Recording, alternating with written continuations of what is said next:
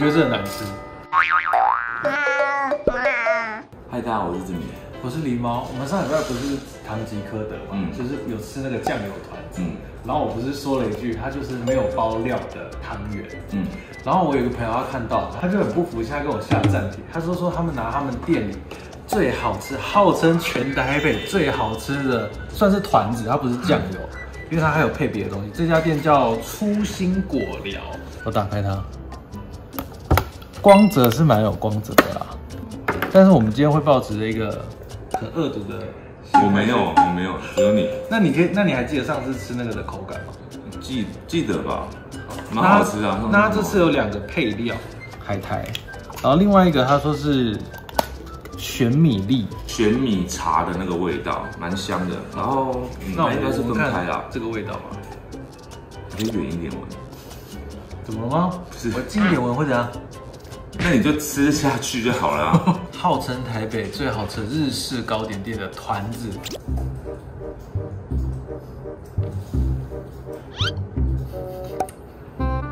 你看吧，你就是不喜欢这个东西啊，你没办法享受这个东西的美好啊，所以你朋友给你还是一样浪费。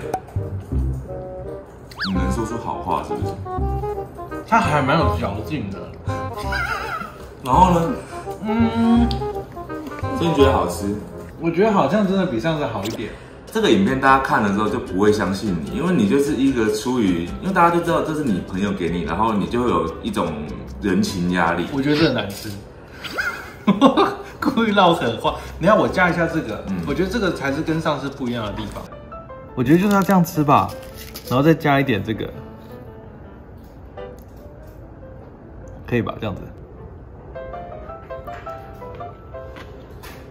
嗯嗯，等一下你用那个脸，没有，那你就加料了啊！啊你上他上次就说那个就是没有加料的汤圆，那所以他现在加料就是变成有料的汤圆啊，所以你让人觉得比较好吃，因为就是变成有料啊。对，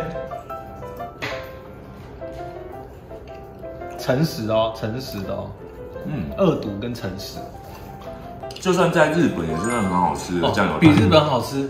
日本的真的是看起来很好，没有没有没有没有，在日本好吃的也就是这样子，就差不多啦。我在日本没有吃过好吃的啊、没有，你这句话很偏颇哎，因为日本好吃的就是这样子。OK。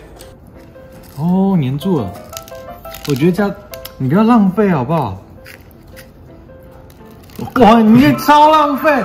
不是掉在这边，你这这里加上这个很好吃，就是因为这是因为什么？海苔的味道跟玄米，玄米会有那个很像饼干的那个嗯口感嘛。脆脆软软。它的好吃会变得很理所当然，因为你很像在吃米果。但我必须说，你真的要吃到它好吃，是因为它们的原本的那个酱油的味道很好吃。对了，很香，不会太咸那。个酱油是不是台湾的酱油可以用出来的酱油？哦，就是它那个日式酱油才会有的那个味道啊，就淡淡的味道。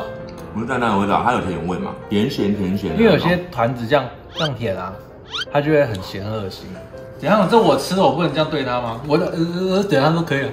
你如果说原本的大概有七八十分，你配上去整个加九十分，变九十分了。这是好吃的。嗯，最好吃的。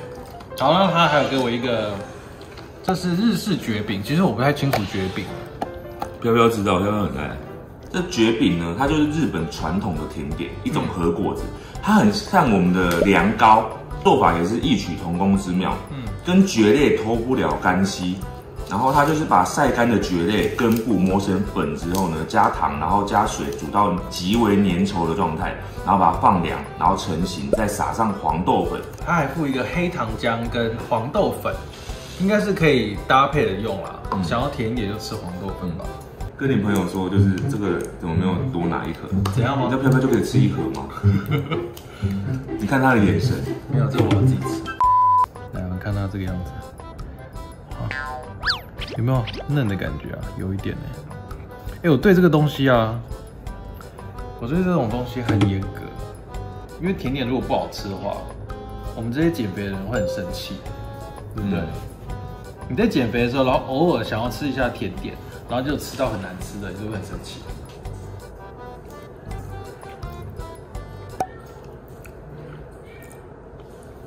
嗯，怎样？怎样？你刚刚原本不是说像荤桂吗？对啊，那它真的蛮像荤桂的，对啊，有点很像，但是它没有比我想象中的甜，它其实不会很甜我。先不要，你不要沾啊，我想下一块再沾啊。是不是还要沾？那个我不能下一块直接我不能。哦，你看志明的脸，你看志明的脸。你看我要摘了。你吃下去，你下一块再沾不就好了吗？好，那你也先吃原味好了，嗯对不对？是不是蛮清淡的？嗯，这是微糖，微糖，那加这个可能就变那蛮清爽的。全糖的。你们特写到它。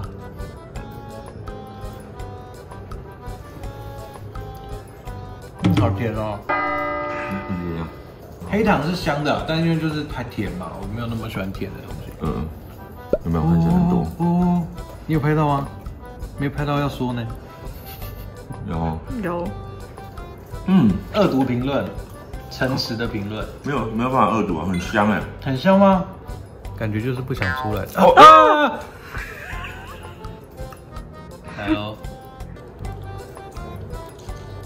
嗯嗯嗯嗯，很像那个，我我觉得你不要把它讲的太廉价，因为它很像 花生瓦吉。花生粉跟黄豆粉的差别就是，花生粉很很直接很呛，嗯，就是然后很甜，然后黄豆粉它就甜味就没有那么对。那么多，可是它它又淡淡的甜味，有一种香味。然后香气会香气比甜味更多，嗯，嗯，所以不错，哎，这两块就留着好了，哎、很好吃哎、要不要吃？大家这个很好吃哎、哎、我们是不是要试两个加在一起？它当然没了呢。哎可是这个你要不要吃？你要知道，我要请你用手机点头。这间我吃过，哦你吃吃过对喜欢吗？我特别去内湖吃的，很好吃。这个我觉得这个我给它评价比这个高哎、那你就不喜欢虽然团子啊？我对这个有偏见啦，但它这个比我想象中来的好，因为我原本想象中它会很黏牙，然后很甜，很死甜，哦可是它它蛮清淡，而且有点入口即化。嗯，怎样？很好吃。酱跟团子的比例很好，那唐吉诃德它的酱跟团子你要自己调比例，然后有时候太多，有时候太少，哦，就有落差。但是这个是涂好的，就很刚好。好了，这个感谢我朋友赠送我这个这个团子给他吃到好吃的团子。但也许这个世界上还有更好吃的酱油团子。但我觉得，我觉得你不要吃酱油团子，因为你就是不喜欢酱油团子啊。就是再好吃的酱油团子，在你的嘴巴里面就是浪费。所以，干脆如果你们有其他别的类型的，也可以给我们试试看的话，也可以建议我们，对推荐给我们，留言给我们。对，然后我们就可以试试看。好，那就下次见喽，拜拜。拜拜。